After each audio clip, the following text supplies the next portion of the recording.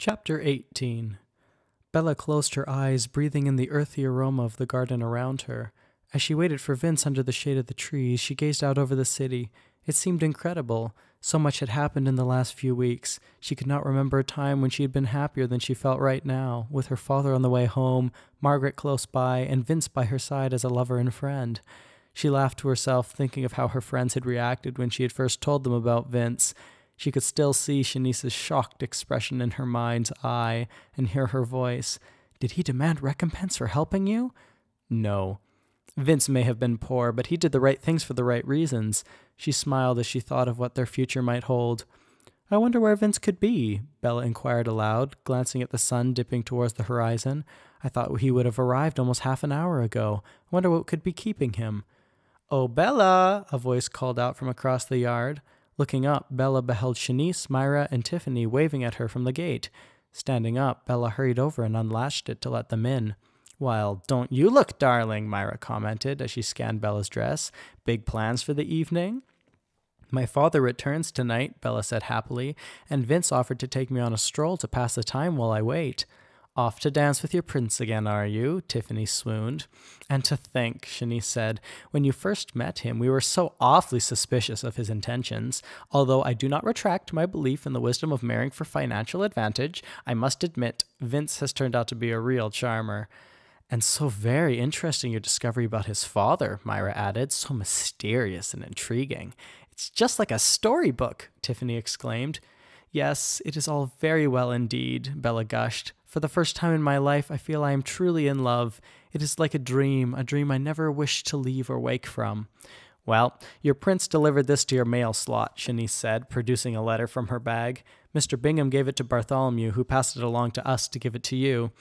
Bella accepted the letter, taking a seat on one of the garden benches to read it as her friends gathered around her. Oh, you must read it aloud, Tiffany complained. I do so love the words he pens to you. For a lamplighter, he has the most beautiful way of writing. If you were not in love with him, I feel I would be. All right, Bella consented, sliding the note from the envelope. Opening the letter, she held it up in front of her, gazing fondly at Vince's handwriting. Well, are you going to read it? Myra asked, or just stare at it all evening? Sorry, Bella swooned. I so love looking at his handwriting. It is not the most elegant, but it is so endearing. Bella smoothed the paper on her lap. Dear Bella, she began, I hope you are well. I have enjoyed our time together over the last few weeks and am elated by the discoveries we have made. After much deliberation, I have reached the conclusion to proceed with what may appear as an unprecedented decision to some, but which I view as great wisdom on my part. Indeed, there is a confession I must make, and it involves you, for you are the very heart of the confession itself.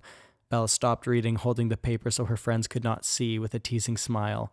Oh, how cruel to tease us at such a juncture, Myra exclaimed. Pray read on, Shanice begged. We must know what he means to say.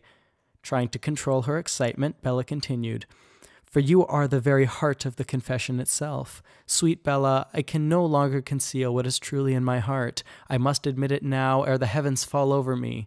These last few weeks I have been deceptive, for I have not spoken what is in my mind and heart. Bella, I must admit, my ardent affections for you have been but a ruse. Bella furrowed her brow, confused. Though I pretended to be taken with you, I truly only had one objective in mind. You see, I recognized in you an opportunity to escape the chains of my family's poverty. Can you blame me, though? When one occupies a lowly station such as mine, certain advantages in life are only available if they are gained through cunning and sleight.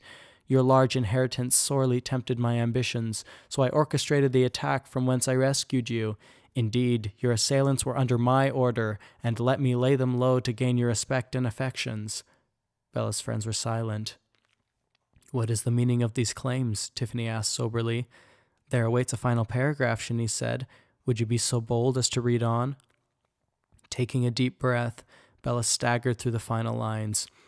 When I learned of your father's thoughts to include us in his will, I realized my ruse was need not continue.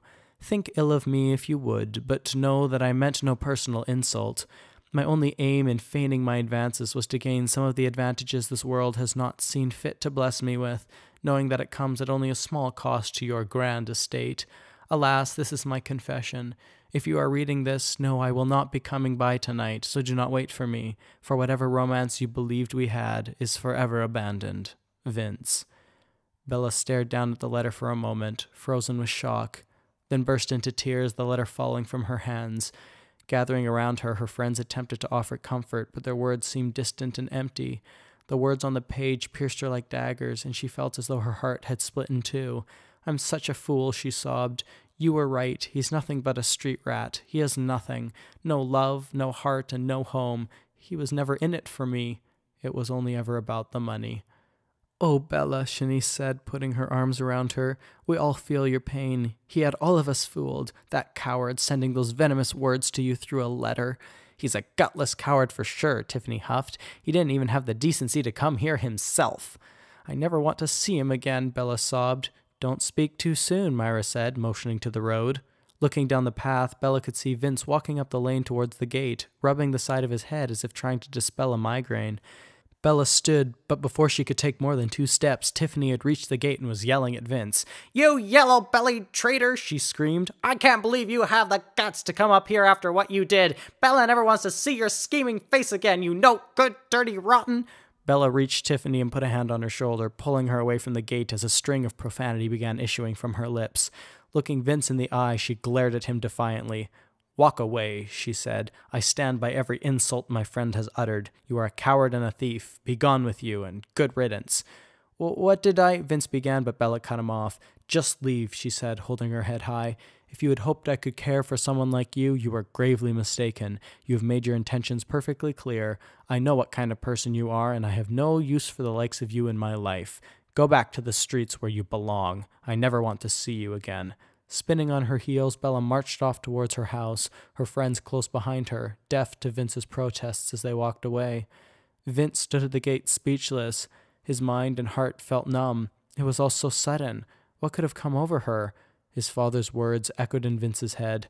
There will come a day when she will realize that you two don't belong together, and she will dismiss you without a second thought. Vince did not want to believe it, but how could he deny what had just transpired? Tears welled in his eyes. It was as if the final shred of hope he'd been holding had been torn from his grasp. Shoving his hands into his pockets, Vince turned away from the mansion, heading down the hill towards the lighthouse and his father.